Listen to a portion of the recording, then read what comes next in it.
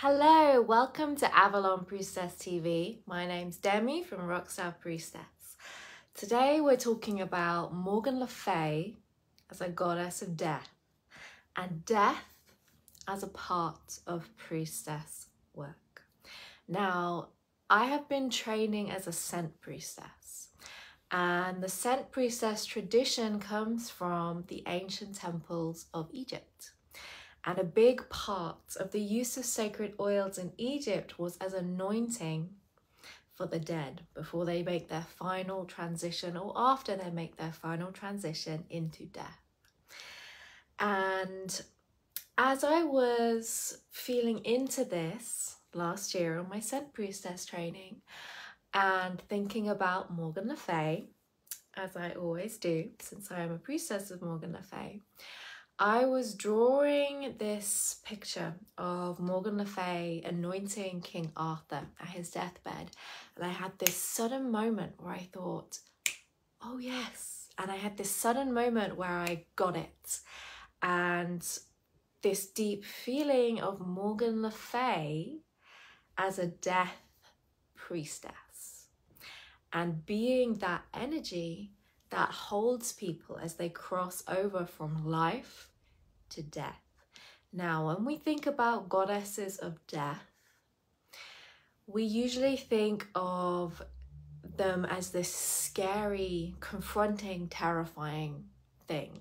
Yeah, we think of Kali from the Hindu pantheon who has a necklace of skulls and is like and it's just very confronting and challenging and cuts away anything that needs to die. Yeah, we have that energy. And if we think about death in a Western Celtic goddess situation, we think of possibly the Morrigan, who is a battle goddess and who holds that warrior edge of death on the battlefield. Mighty deeds, good stuff. And we think of Valkyries, the ones who take those who had a noble death on the battlefield. And it's all very battly, right? And when we're thinking about Morgan Le Fay as a goddess of death, I feel like when we're thinking about Morgan Le Fay, she is that edge between the goddess and the priestess. She is the goddess who is priestess. She is the goddess who is an embodied priestess at the same time. Mm-hmm. So when we're thinking about Morgan Le Fay as a death goddess, yes, we see her as she often appears to us as a raven clad dark goddess on a stormy night, as someone who holds the sword and challenges you to see the truth, no matter how confronting or terrifying it must be, the one who challenges you to die to what was before, so what is intended to come in can come in.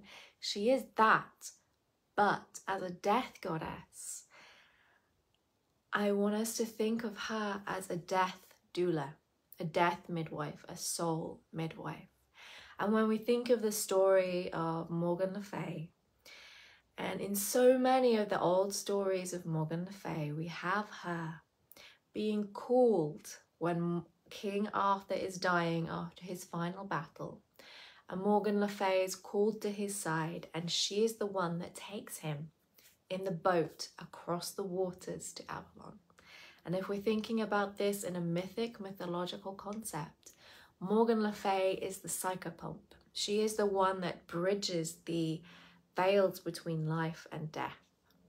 And she is the one who takes King Arthur on the journey into death. And that is what the water is representing in this story. Water in ancient Celtic stories is often a metaphor for crossing over into the other world. So as Morgan Le Fay takes King Arthur on his boat to Avalon, the undying place, the place where the place where fairies dance and the dead dance with them. As she takes him across on this boat, she is taking him by the hand, midwifing midwifing him, death doulaing him across the very transition of death. And she is with him as death priestess. And this, I feel, is a lost part of processing. And it is a part I am learning and reclaiming right now. And when we look at the history of death and dying, and the care of our beloved dead, that is a role that fell to the women in many cultures. Especially in ancient Greece, where I have been researching this a lot. Death, lamentation, funeral rites, and care of the body, preparing the body for the ceremony, preparing the body to be entombed, that was the work of the women acting as priestess in the family. So we have this tradition of the priestess really being the midwife of the veils at the end of life. And when we are thinking about Avalon, this is even stronger because Avalon is an Isle of the Dead.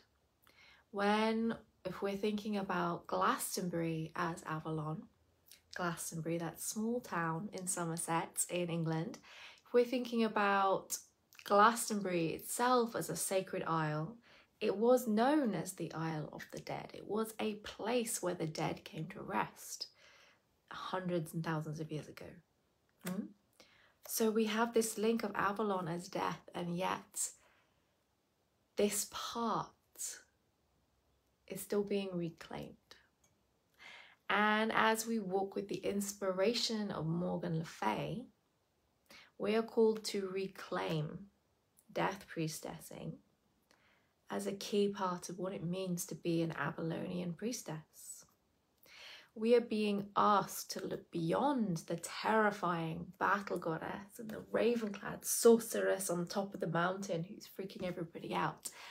Beyond that, to step into that priestess love that can hold those big transitions of life. And the biggest one of all, transition from life into death. And our world is so scared, so scared of death. Our world is in complete denial that death exists. We have a youth obsessed culture. We have practices in hospitals that are to keep people alive at all costs, even if it is a horrific experience. And we have the collective climate change crisis, which is in itself a big denial of death. Hmm. And our work as priestesses, like so many other things, like so many other sacred parts of life that we're here to honor and re see as sacred, is to bring that presence into death not necessarily jump right in and be a death priestess and be there with people as they die, but just to really step in and ask ourselves, how can I be with this? How can I shift this perception that death is something to be avoided at all costs, that it's bad and it's the worst thing that can happen? How can I sit with this? Hmm. And that's an inquiry I'm deepening into as a priestess of Morgan Le Fay. So if you would love to learn more about Morgan Le Fay, I have a free class called the Morgan Le Fay Priestess Activation. You learn all about her many different faces because she is a shapeshifter goddess. She's a death goddess, she's a shadow queen, and she's an enchantress and a fairy lover and a healer. So if you look in the comments below, you can sign up for your free Morgan Le Fay Priestess Activation class, which includes a guidebook an MP3 and a recorded ritual, which is really amazing. And if you're interested in this path of Avalonian priestessing, come and join me over at Rockstar Priestess, where we are diving deep into what it means to walk as a renewed priestess of Morgan Le Fay, priestess of Avalon in the world today. Sending you so much love. Bye.